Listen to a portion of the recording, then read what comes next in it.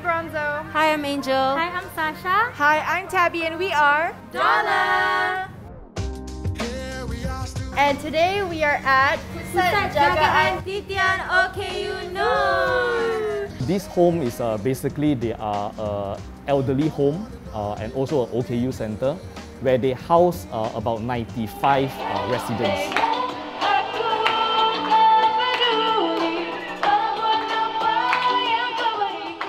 I actually cried while singing Berani just now because I had the moment of um, I was just looking at them and they were all singing Berani and we were just like being happy and all and I was just looking at them and I'm like they are so brave for doing what they're doing and just being awake and just like living every single day, you know? Like even though it's like tough, I just feel like they're very brave. When we sang that song to them, it's just like a dedication to them at that time. I think everyone should do more work like this and come and give back and also do what you can when you're able because not everybody is fortunate enough. So the Giving Bank is basically a non-governmental organization and we are also a non-profit organization. In our organization, we practice a very non-biased system. So we literally help across anyone and everyone so long as it's deserving, uh, so long as it's legit and genuine and worthy, we are there to help and assist to the best level possible. Thank you so much to all the idolers who commented and suggested um, all of these places and the people who needed the assistance during MCO. And we hope to do more of Yes. these kinds of things.